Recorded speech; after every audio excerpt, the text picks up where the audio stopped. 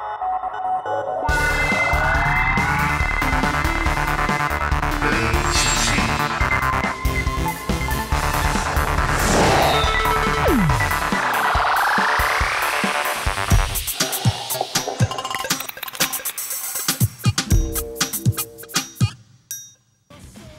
Começando mais um mock para você aqui na sua Play TV.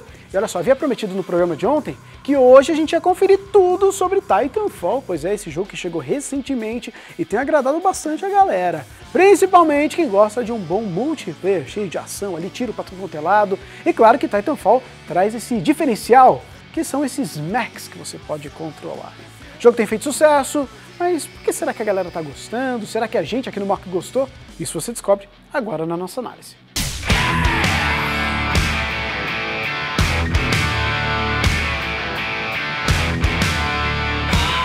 Dos criadores de Call of Duty, Titanfall aposta todas as suas fichas nas partidas multiplayer, onde os gigantescos mechs conhecidos como Titans são as principais estrelas dos campos de batalha.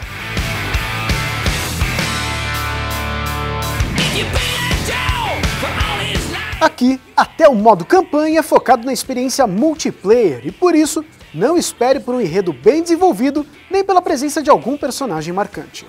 Ao longo de 10 estágios, a trama se desenrola através de arquivos de áudio com 12 jogadores, dividido entre as facções Militia e AMC, disputando objetivos de mata-mata ou de conquista de território. O resultado de confrontos não importam muito no final das contas, já que todo mundo passa para a fase seguinte independente de quem ganhou ou perdeu.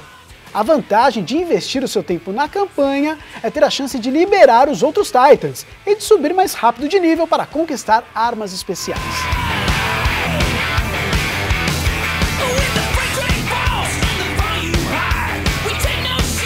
Seja no controle do piloto ou do robô, você deve levar sempre em conta a estratégia que será adotada.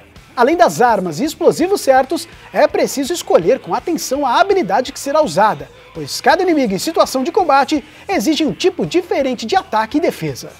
Os jogadores também podem customizar os seus personagens e equipamentos por meio das Burn Cards, que nada mais são do que cartas especiais recebidas pela realização de desafios e que garantem vantagens passageiras. Muitas vezes, você pode surpreender os adversários usando esses poderes logo no começo de uma batalha.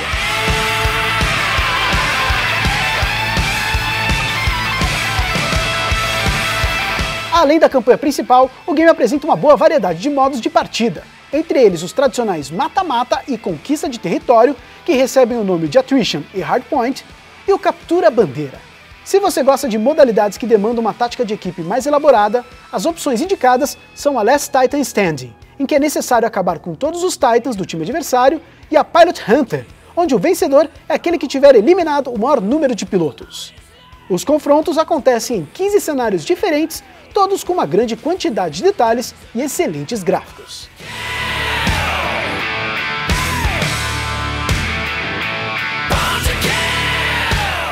Titanfall não chega a promover uma revolução no gênero shooter, mas dos títulos lançados recentemente é o que traz uma das melhores propostas multiplayer, principalmente por oferecer partidas frenéticas e divertidas no comando de mechs ultramodernos. Para quem busca por isso, o game é pedido a sério.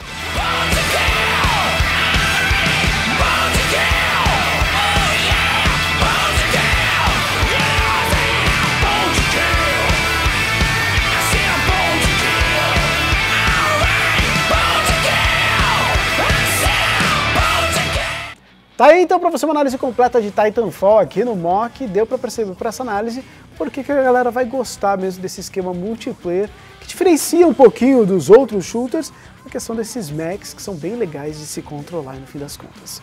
Mas olha só, vamos falar agora de novidade em matéria de action figures, acabou de ser anunciado por essa empresa, né? Toda hora que eu falo da Asmus Toys, os caras também fabricam seus action figures e dessa vez baseado em Senhor dos Anéis. Gosta de Senhor dos Anéis? Você gosta do Gandalf? Olha só então o que os caras acabaram de anunciar. É justamente ele, o Gandalf, The White, tá aí ó, o Gandalf, o branco. Olha só, foi bem interessante, né? Afinal, os caras colocaram roupa de tecido aí no action figure para dar um ar ainda mais bacana, baseado no Retorno do Rei, no filme Retorno do Rei. Tá aí esse Gandalf que vem com alguns acessórios. Mas antes de falar dos acessórios, vou te falar que ele tem 30 centímetros de altura, 36 pontos de articulação, é bem articulado mesmo, para você deixar do jeito que você quiser, na posição que você quiser. E agora vamos falar para você desses acessórios que acompanham esse Gandalf. Como a gente já pode conferir nessas imagens, ele vem já, claro, lá com a espada Glandring, que é essa espada que a gente confere aí nessa imagem, tem esse cetro tradicional, esse cajado que o Gandalf sempre leva para cima e para baixo, e vem também com outro acessório que é bem interessante, que é essa cabeça de orc que a gente está conferindo aí nessa imagem. Tá aí, para quem gosta de Senhor dos Anéis, o Gandalf aí da Asmos Toys acabou de ser anunciado, mas só vai ser lançado mesmo no segundo semestre de 2014. Esse ano ainda, mas só no finalzinho do ano é que vai ser lançado esse Gandalf. Já tem um preço, os caras já estão fazendo uma pré-venda, 170 dólares. Pois é, acaba sendo bem interessante, né? Vem com as feições aí do Sir Ian McLean, como a gente pode conferir na foto. Segue um estilo Hot Toys, digamos assim, de action figure que acaba sendo muito legal. Fica a dica pra galera que gosta de Senhor dos Anéis aqui no Mock. Mas olha só, a gente vai para um rápido intervalo, daqui a pouco a gente volta com muito mais mock para você aqui na Play TV, não sai daí.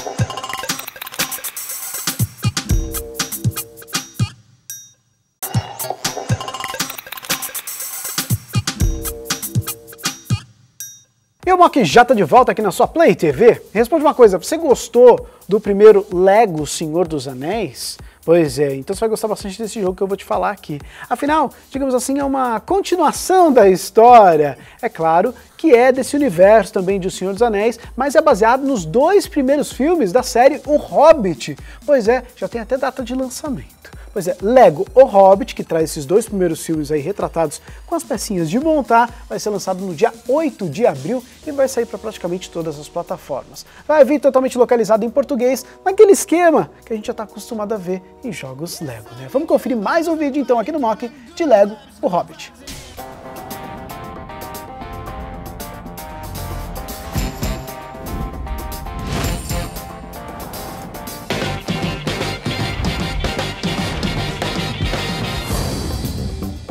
I'm looking for someone to share in an adventure.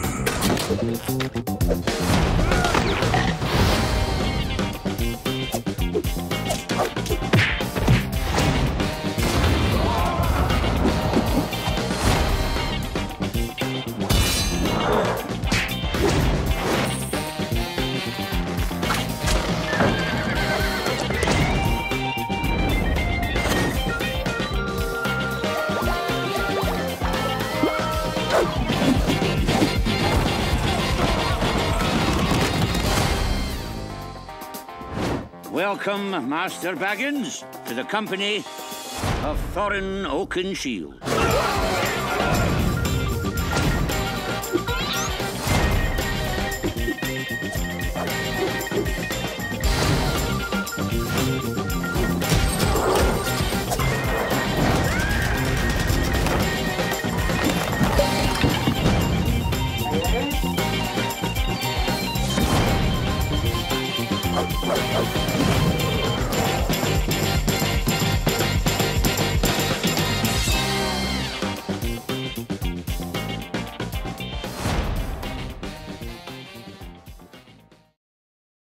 Tá aí, Lego O Hobbit, vai ser lançado para praticamente todas as plataformas dia 8 de abril. Anota aí.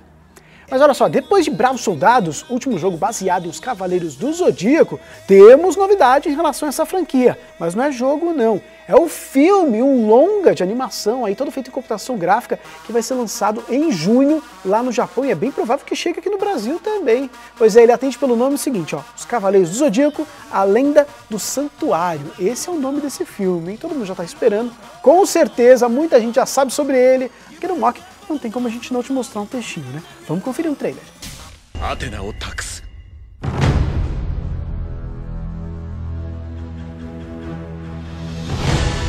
俺は聖夜ペガサスのセイントだ俺たちがあんたを一生守る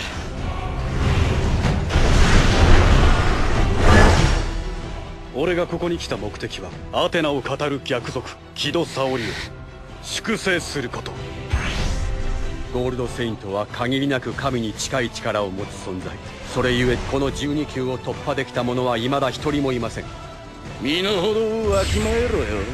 鉄くずが!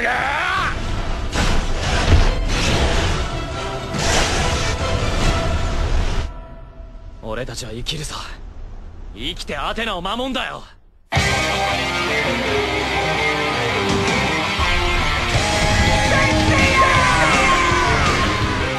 さとかかってこいよ金メッキ。逃げたりしない。覚悟を決めたんだ。小山少林派あいつらの道を切り開け少年国コスモを燃やせ。地上の愛と平和を守るために。せいやペガサス流星拳セイントセイヤレジェンド・オブ・サンクチュアリ。究極まで高まれ Tá aí os Cavaleiros do Zodíaco, a lenda do santuário, que vai recontar então essa saga das 12 casas que a gente está acostumado a ver, a gente gosta bastante dessa saga, mas agora vê com esse estilo diferente. Fique ligado lá no Cineplay para saber novidades em relação a esse longa, se ele vai chegar aqui no Brasil e muito mais. Aqui na Play TV a gente gosta bastante de animes e é claro que a gente vai ficar ligado. Mas olha só, o mock de hoje já ficando por aqui. Sabe que tá rolando mais um concurso cultural, né? E olha só o que você pode levar para casa dessa vez. Uma parceria com a Funtoy Colecionáveis e o Mock. A gente vai te dar o War Machine. Olha que legal essa estátua, hein? Bem bacana. Estátua da Iron Studios. Sensacional essa estátua e pode ser sua, hein? Basta você participar do nosso concurso cultural. E para participar é muito simples, basta responder de maneira criativa a seguinte pergunta: Que tática você adotaria para vencer o War Machine numa batalha? Essa é a pergunta. Responda enviando a sua resposta lá para o nosso e-mail, mock.playtv.com.br. Pense algo diferente, uma estratégia lá que você tomaria para vencer o War Machine e manda pra gente. Mas preste bastante atenção nas regrinhas do nosso concurso cultural. Pois é, o nosso regulamento está lá no site playtv.com.br barra mock. É só você ler tudo com calma. Por exemplo, você não pode mandar sua resposta pelo Facebook, pelo Twitter, tem que mandar pelo e-mail. Isso e muito mais você encontra no regulamento. Leia! Leia! Pense numa resposta legal, quem sabe você não leva essa estátua para casa. E corre e participe. Mock de hoje já ficando por aqui. Amanhã a gente está de volta nesse mesmo horário aqui na Play TV. Tchau!